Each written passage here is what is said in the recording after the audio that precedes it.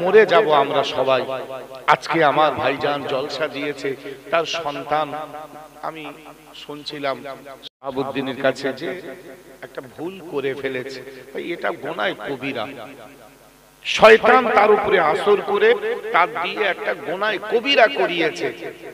আল্লাহ যদি ক্ষমা করে, ক্ষমা হয়ে যাবে। যেমন নামাজ না পড়া গোনায় কবিরা। রোজা না করা গোনায় কবিরা, মিথ্যা কথা বলা গোনায় কবিরা, সুদ খাওয়া গোনায় কবিরা, ঘুষ খাওয়া মিথ্যা মানে এমন করে গোনায় কবিরা। ঠিক আত্মহত্যা করা, এটাও গোনায় কবিরা। এটাও গোনায় কবিরা মানে কবিরা মানে বড় গোনা বড় গোনা নামাজ না পড়া বড় গোনা রোজা না করা বড় গোনা জাকাত না দেওয়া বড় গোনা আত্মহত্যা করা বড় গোনা আল্লাহ চাইলে মাফ করে দিতেও পারে, সেটা আল্লাহই ভালো জানে। বান্দার বলার ক্ষমতা নেই। আল্লাহ চাইলে হয়তো আল্লাহ তাকে ক্ষমা করে দিতে পারে। তার বাপ, মা, তার আপন জনদের বড় ইচ্ছা, তার জন্য একটু দোয়া করে যদি আল্লাহ তাকে মাফ করে। আল্লাহ যদি তোমার ক্ষমা করে, এরকম অনেক আমাদের ঘরে ষোলো আঠারো বছরের, কুড়ি বছরের সায়না ছেলের নামাজ পড়ে না। সেই ছেলেটা এমনি এমনি মরে গেল, সেও তো গোনায় কবিরা করে মরে গেছে। আত্মহত্যা করেছে, তার জন্য করা যাবে না। এরকম কথা বলা নেই। নামাজ না পড়া যেরকম বড় কবিরা গোনা, আত্মহত্যা করা কবিরা গোনা। আপনার ষোলো বছর, আঠারো বছর, কুড়ি বছরের ছেলেটা নামাজ পড়ে না, সে যা পাপ করছে আত্মহত্যা করেছে মানে ওইরকম পাপ বড় পাপ করেছে। তাহলে এর জন্য কলমাখানি করা যাবে, আর ওর জন্য করা যাবে না কেন? হ্যাঁ সে একটা অন্যায় করেছে, হাদিস পাকে এসেছে, যদি কেউ আত্মহত্যা করে, ভয় দেখানোর জন্য সমাজে ভালো লোক জানাজা, নামাজ পড়বে না। মানে যে কেউ একটু পড়ে দেবে, এতে কি হবে? আর পাঁচজন, তারা যেন এই পাপটা না করে। নবীজি, কোন বেনামাজির জানাজা নবীজি পড়তেন না। কোন বেনামাজি মারা গেলে নবীজি বলতেন, আমি জানাজা পড়ব না। এবং তার আত্মীয় দাঁড়াতে হবে সামনে। হুজুর, আমার আব্বা নামাজ কালাম পড়তেন, কিন্তু শেষে অসুস্থ হয়ে যাওয়ায় নদিন নামাজ পড়তে পারিনি। আল্লাহ রসুল, এই নদিন আমার ছেলে কি আমার আব্বা নামাজ পড়তে পারিনি? নবীজি বলতেন, তোমার আব্বার যা সয় সম্পত্তি আছে, তার থেকে কাফারা দাও। নদিনে কাফারা কি হবে? এক অক্ত নামাজ সমান একটা ফেতরা। ধরে নেন পঞ্চাশ টাকা করে ফেতরা, তাহলে এক অক্ত নামাজের বিনিময়ে একটা ফেতরা, তাহলে সারা দিনে পাঁচ অক্ত নামাজ পাঁচটা আর বেতের নামাজের জন্য একটা, তার মানে ছটা, তাহলে দিনে কত হবে? পঞ্চাশ টাকা করে ফেতরা হলে দিনে তিনশো টাকা, তাহলে দিন নামাজ পড়তে পারিনি মানে তিন নয় সাতাশ, সাতাশশো টাকা কাপফারা দিয়ে দিতে হবে। একদিন এই ওয়াজ করেছি তো একজন এসে বলছে, হুজুর, আমি আমার আব্বার আমার ছেলের কাপফারা দিয়ে দেবো। আমার ছেলে মারা গেছে, আমি আব্বা, ওর কাপফারাটা দিয়ে দেবো। ও নামাজ পড়তো, কিন্তু কিছু কাজা হয়েছে। আমি বললাম, কিছু মানে কদিন? তো বলছে, চা বছর চারিক হবে। তা আমি যখন হিসাব করে দিয়েছি, মোটামুটি ওই কত ছাপ্পান্ন না চুয়ান্ন হাজার মতো হয়েছে। তা বলতে হুজুর পরে দেখা করবেন। মানে ওমনি করে তেরো টাকা, কুড়ি টাকা বলবে। ও, একটা এই কোরআন শরীফ কিনে দিচ্ছি বুঝলি হয়ে গেছে। অত সহজ না। মানে চার বছর না পাঁচ বছরে হিসাব করে ওই রকম ছাপ্পান্ন হাজার না কত হয়েছে? প্রথমে মনে করে তো, হুজুর বলবে একটা কোরআন শরীফ দিয়ে কোন আল্লাহর রাস্তে মাফ হয়ে যাবে। তিনশো টাকা কিনা সে কিনে দিয়ে এক পাশ। আমি, না ভাই, অত সহজ না। নামাজ না পড়লে এক অক্ত নামাজের বিনিময়ে কাফারা দিতে গেলে একটা ফেতরা। তাহলে একটা ফেতরা যদি হয় সারা দিনে পাঁচ অক্ত নামাজ পাঁচটা আর বেতের নামাজ একটা ছটা, তাহলে ছ পঞ্চাশ তিনশো। তাহলে তিনশো কে হিসাব করুন তিন তিরিশো নব্বই। মাসে হবে ন হাজার নবারণ একশো আট। বছরে হবে এক লাখ আট হাজার টাকা। ভাই, হিসাব করতে পারবেন? অত সহজ না।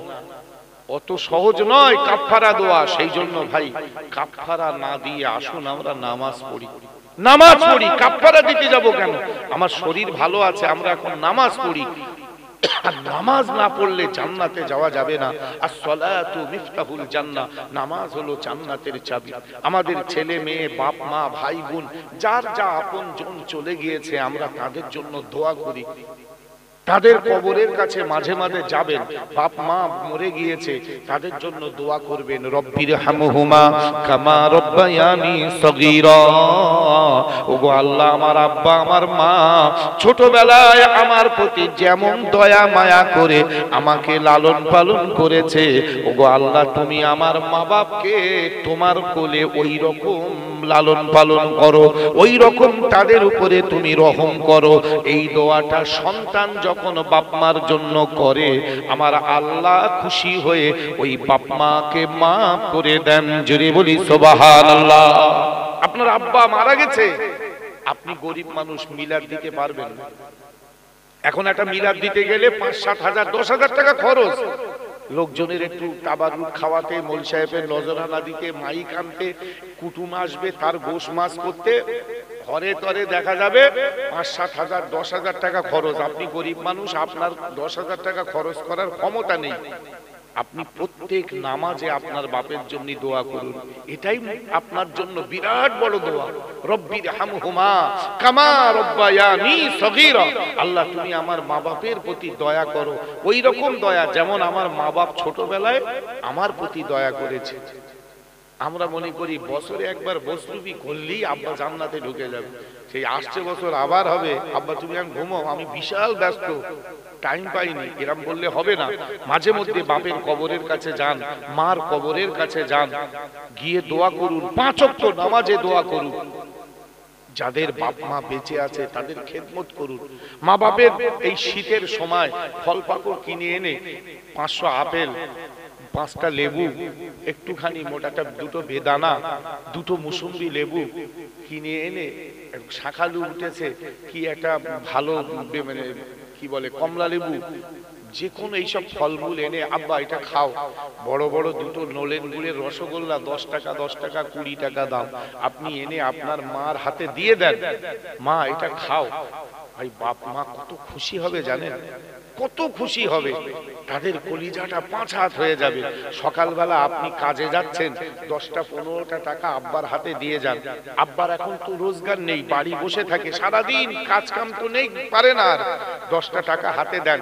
আব্বা, তুমি একটু সন্ধেবেলায় একটু দোকানে চা পানি খাও। তুমি নাকি সব যে যা দায় তাই চা খাও। লোকের চা খাবে কেন? তুমি তুমি রোজ লোকের চা খেলিয়ে মানায়। লোক খারাপ বলবে, এই না পনেরোটা টাকা রাখো। সন্ধেবেলা একটু চা, বিস্কুট, এটা ওটা দোকানে যাবে যদি যা ইচ্ছে খাবে, এই দশ টাকা তুমি রেখে দাও। মনে পড়ে না তোমার? ছোটবেলায় একটা আইসক্রিম খাওয়ার জন্য মার আঁচল ছিঁড়ে ফেলে দিয়েছিলে তুমি। দিতেই হবে, আইসক্রিম এলা এসেছে। আজকে মা বাবা বুড়ো হয়ে গেছে, তাদের মন চায় কচি যদি একটু একটু মাছের মাথা এনে দিত বুড়ো মানুষ শীতকালে বসে বসে কাঁটাগুলো একটু চিবাত মন চায় কিন্তু সাহস হয় না ছেলের বলা। বলবে বা কেন? তুমি সন্তান, তোমার মনে পড়ে না? ছোটবেলায় একটা আইসক্রিম, একটা লজেন্স খাব বলে স্কুলে যাব। দশ টাকা না দিলে আমি স্কুলে যাব না, ব্যাগ ছুঁড়ে ফেলে দিচ্ছে। দেবে কি বলো? মা বেচারি উদিক খুঁজে মুজে দশটা টাকা হাতে আমার বাপ যাও, স্কুলে যাও, পড়াশুনো করতে হবে, বাপ যাও। কত কষ্ট করেছিল। আজকে সেই বাপ মা বুড়ো হয়ে গেছে, তার জন্য তোমার মন চায় না যে এখন শীতকাল, বড় বড় রসগোল্লা পাওয়া যায়। দুটো কিনে এনে মার হাতে দেই, মার কলিজাটা পাঁচ হাত হয়ে যাবে। ভাই, হাত তুলে দোয়া করলে দোয়া হয় না, অন্তরের দোয়াটা অনেক বড়। কলিজা ফাটা দোয়া বেরোয়। এগুলো করার উচিত আমাদের কর্তব্য। ভাই, আল্লাহ আমাদের প্রতি রহম করুন, আল্লাহ আমাদের সুবুদ্ধি দান করুন। আমরা সৎ পথে চলি, যেন কবরটা আমার জন্য রিয়াজুল জান্নাহ হয়। আল কবরু রাউজাতুম মির রিয়াজিল জান্নাহ, আল কবরু হাফরুম মিন হুফারিন নার। হতে পারে কবর তোমার জন্য জাহান্নামের টুকরা, আবার হতে পারে কবরটা তোমার জন্য জান্নাতের টুকরা। তুমি যেমন চলবে সেই জন্য আমি বলব, আল্লাহ আমাদের সকলকে ক্ষমা করুন। যে উদ্দেশ্যে আমার ভাই মিলাদ দিয়েছেন, আল্লাহ তার মনের আশা, বাসনা পূরণ করুন। বাড়ির সকলকে আল্লাহ নামাজি করে দেন। সকলে বলি আমিন। আসুন নবীর সানে একটু সালাত ও সালাম করিয়া নবী।